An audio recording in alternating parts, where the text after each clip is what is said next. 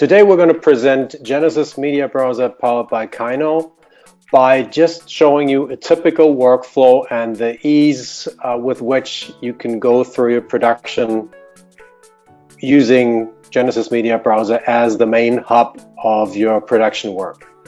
Uh, we'll, we'll jump right in by inserting an SD card and we'll do a workflow which is typical for reality TV. You see the, the contents of the SD card that appeared right here and we can we can already on the SD card, we can do a full preview of the high resolution material. And in this case, the material, for example, was, was recorded using log, using a log profile. That's the flat colors. And you can immediately apply a lookup table and watch the material, the original material in its high resolution, even from the SD card. So another thing you can do right off the bat is do metadata editing even before you have backed up the material. For example, we want to mark the camera name here in the metadata. We'll call this, this is uh, a GH4 that this was recorded with, and that was our B cam, so we call it GH4B. All right. So the first step to import everything onto your onto your shared storage or the storage solution that you use in a production workflow would be to use a verified copy. That is as easy as selecting this copy and verify option here and then a destination on your storage and you hit copy and verify and there you go. You see the progress down here it's a very fast process. It employs industry standard media hash list checksumming. So everything is safe and you get everything that you shot bit by bit and you can you have your peace of mind. You have your peace of mind. And now we switch to a typical folder structure on the production server. You have you have projects directories, you have you have all those all those subdirectories in here and these are the things that can get messy to handle if you don't have a tool like Genesis Media Browser and we'll just show you how this gets much easier with the tool. Now let's take a look at where our footage ended up. We use this feature we call drill down up here to flatten the folder structure from the original card so we can just browse this as if it was in one folder and we have all the all the media files that safely arrive bit by bit in here. And we can now do something like apply the lookup table just in one operation. Now all this flat log footage is now marked as using this lookup table and your production assistants or directors can go through the footage knowing how it will look in the end. Now you can do all sorts of metadata editing. You could, you could, for example, add tags here. Let's say I add a tag, tag uh, girl, and those tags you can use later on in production. But another thing that Genesis Media Browser powered by Kyno can also do is it has a very powerful transcoder, and I'll just show you how easy a dailies workflow is using that. I mark all the footage that I want to convert to dailies. I go into the convert menu and I select a custom preset, transcoding preset that I, that I have prepared that has all the information that I use in my workflow, like um, the naming convention that's going to be used for the for the output files and the codec and everything and I just hit start. And I'm just going to save you the transcoding time. What this results in is an automatically generated folder structure right here. That's what I configured in the naming convention. And that what that automatically does, it creates a folder structure based on date, based on the camera name, and it keeps all the material in here in its original name, and it has applied a lookup table already and has rendered a time code in that. That's all included in the transcoders functionality so that's something you just get in your media browser without the typical use of three or four additional tools just for those steps. So you, you just, in this part of the workflow, you have saved a lot of time. Now, let me jump to one of the most, one of the most powerful features of the media browser, and that's the already mentioned drill down function. If you apply this to the whole project folder, you, you will see the power of this. This essentially flattens all this here, all this nested folder structure here, and you can now either visually browse through the material or you can, for example, use all metadata that was used. For example, um, I'm finding everything tagged with the tag animals, or I can filter this by other metadata like resolution, frame rate. Um, let's just say I'm looking for anything that's 24p, that's just the little squirrel here. So this is very powerful. You never lose track of any of your assets on your production drive. And this doesn't even need ingest. This just happens with the material just being put where it's usually put. No workflow changes for that. You just get this as an extra. And for example, if in your editing project, you want to find in your stock archive folder, you want to find something, let's say, let's say I want to find everything that is, I want to find all the animals in here. I have the same thing. I can also, let me remove this filter. I can also filter, for example, all material that is 4K. So this is the animal material I have in my terribly nested stock folder. That's 4K. So that is a huge thing. And that, as I just said, doesn't require any ingest whatsoever. So let's go back to the production process. Let me take another set of footage here. That is a drone shoot where the production assistant has already gone through the material in this industry standard player that plays back all your all your production, all your professional formats, broadcast formats, consumer formats, just um,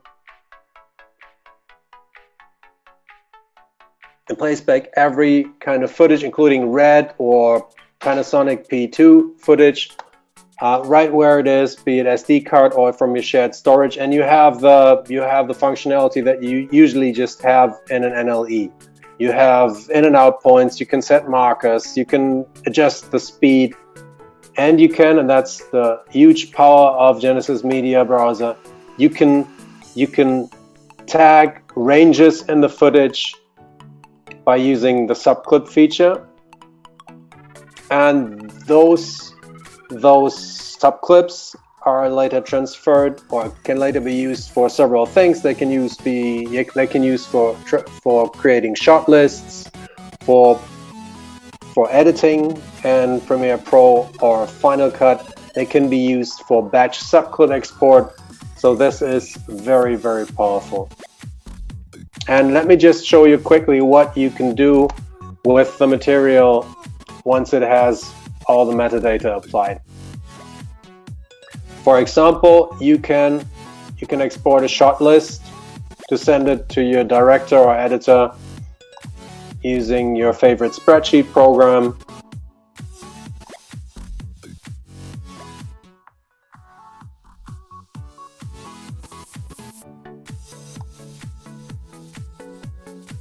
This is a neat shot list, shot list that was just generated from your production assistant's input.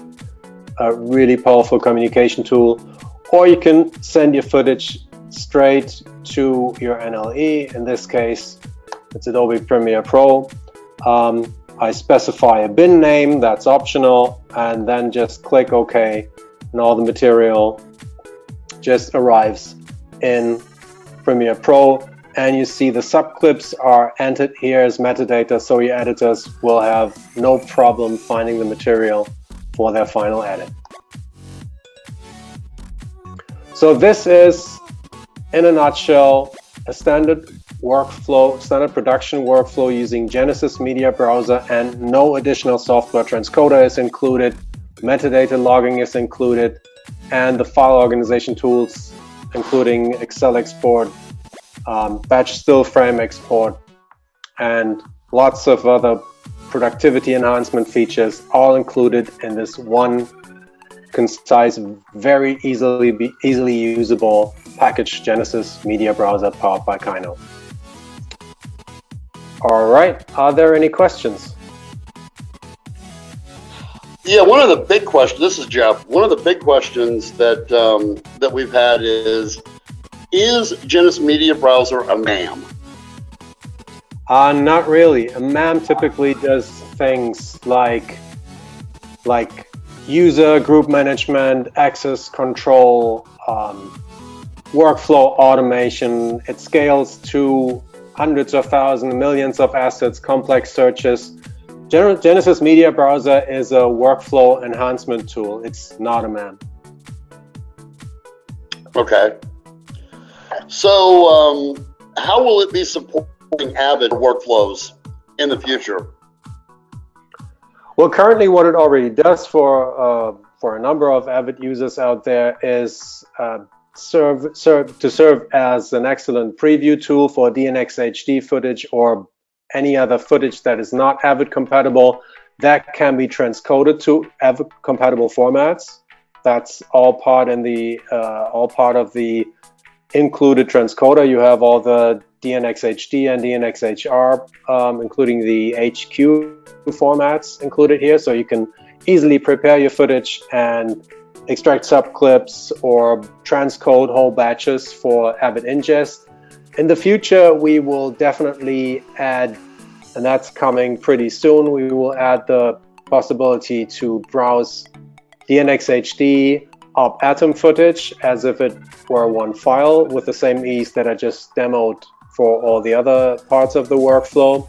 And eventually there will be a media, com uh, media composer integration, but uh, there is no timing for that yet. Okay, great.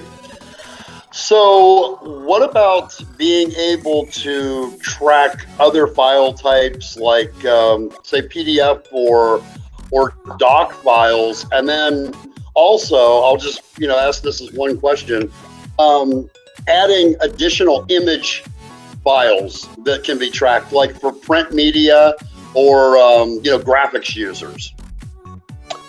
We're actually already working on that feature. The feature will allow you to enable the, the file extensions or the, the file types that you want to show in the browser. We decided against always showing all files because that gets rid of, of, of the effic efficiency of focusing on certain file types.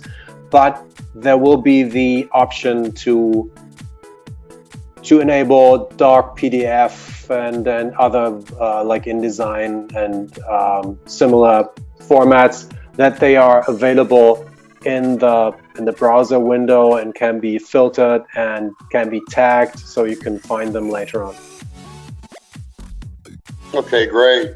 And there's no limitation on the overall number of files that can be indexed by uh, Genesis Media Browser, correct?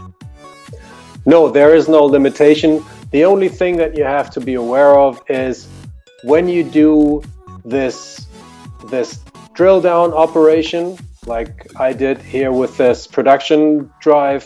Here I have a number of of assets.